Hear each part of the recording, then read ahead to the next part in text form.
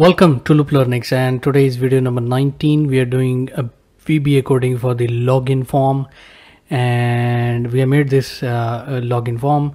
Uh, what we need to do is we need to check the validate, validate the user ID and password and then we'll click on login and if the user ID and password are, passwords are correct then we should be get going and a dashboard should automatically be open. Uh, that's what we need to do in uh, this particular video. And uh, on the cancel button of course cancel button will be used to log out or completely uh, shut down the database. So that's what we are going to do today.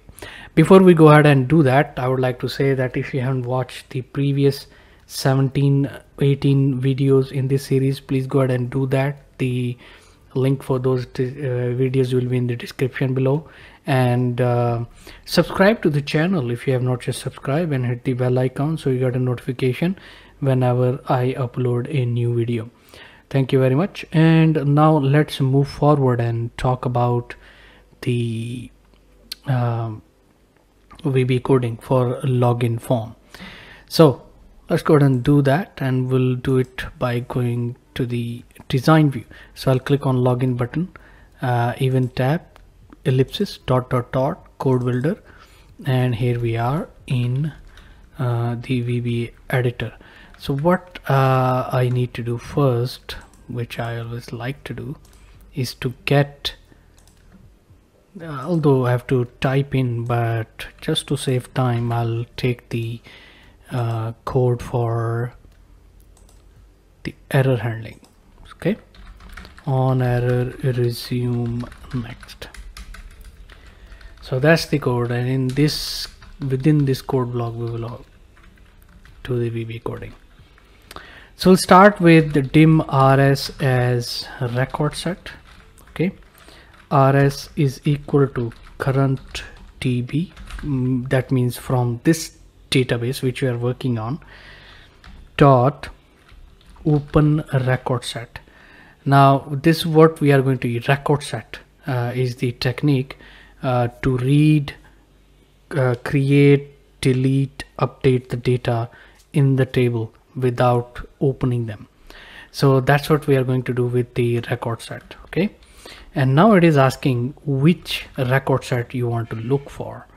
Let me close this supplier form so we we're looking we are referring to the employees uh, table because this is where the employees information is stored uh, such as user id and password.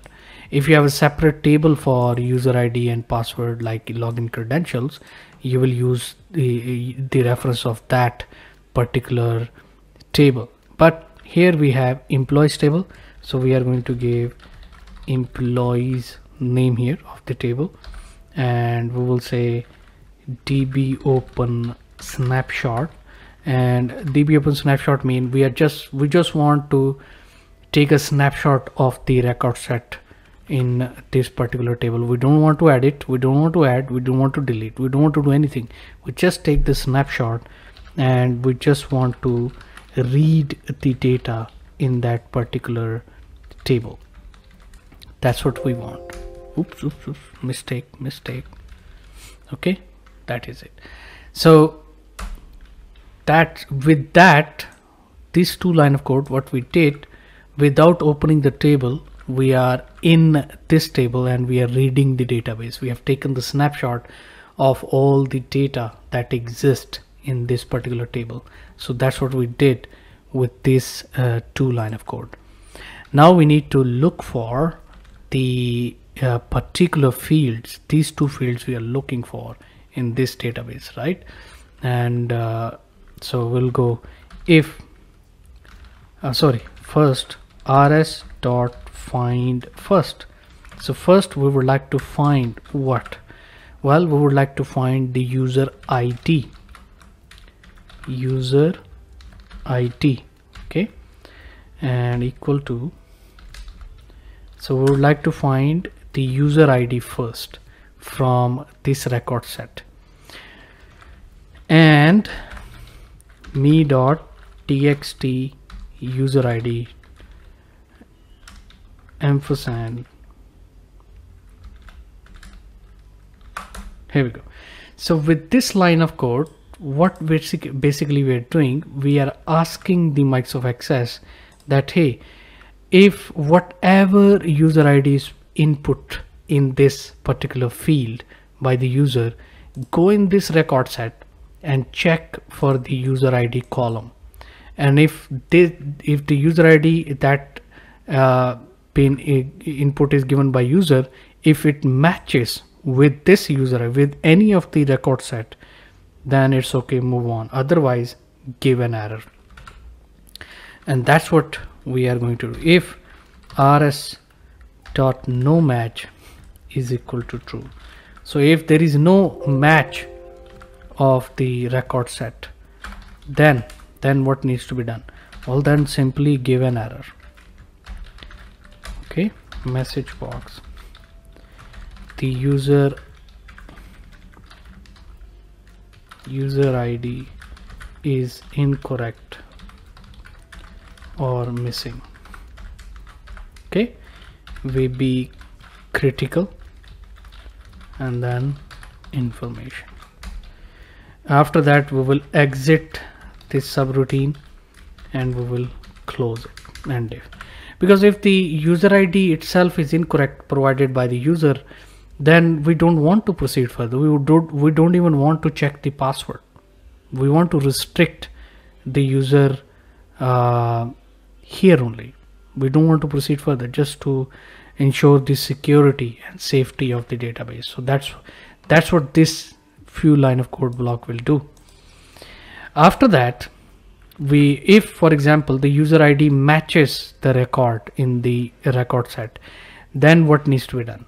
Well then simply we need to move ahead and check for the password.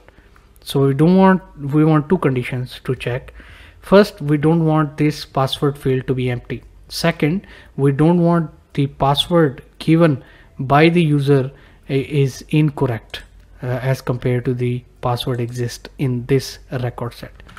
That's what we want. So we'll say if is null me dot txt password dot value is equal to true or or yeah rs exclamation mark password does not match with me dot txt password dot value then. So two conditions we have put.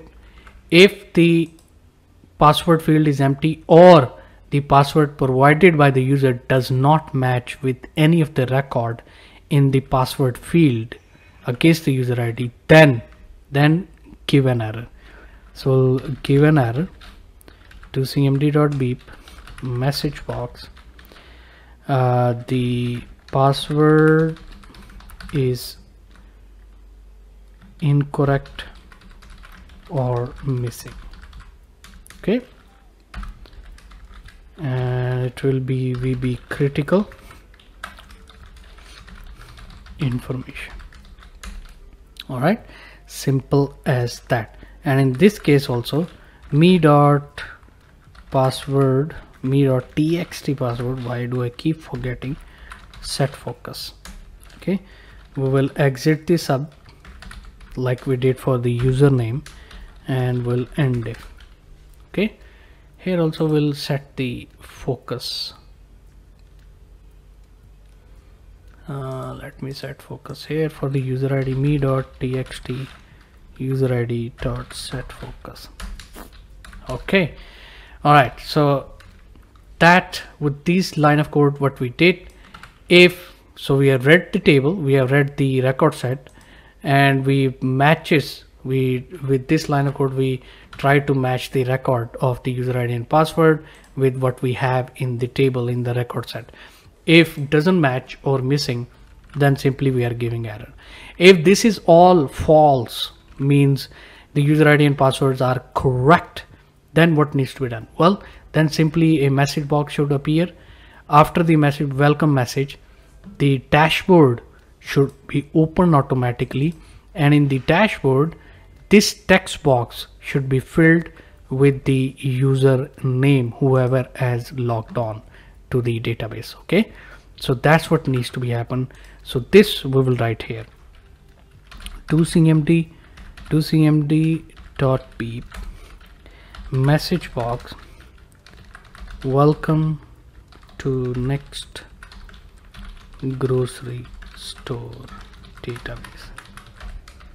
Whatever message you would like to give you can uh, of course modify this message.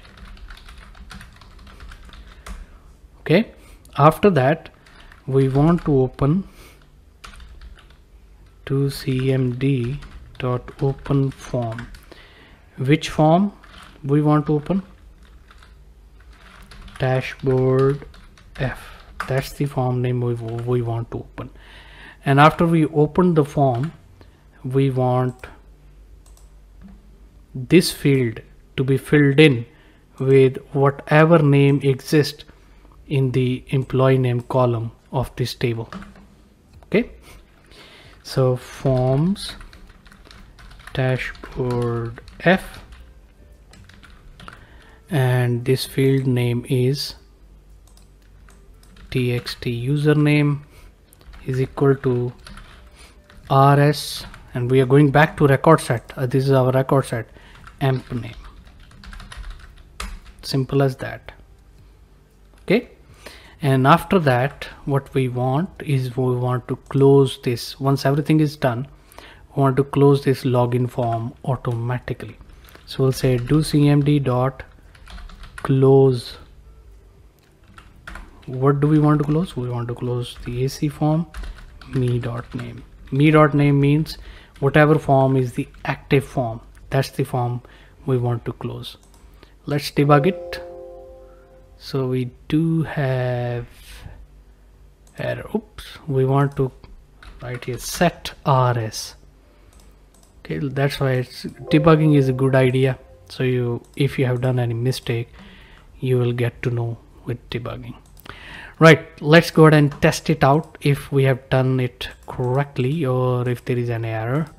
So let's type in employee. So this is the wrong user id and i'll click on login and it will say user id is incorrect or missing. This is wrong user id again. So it is okay.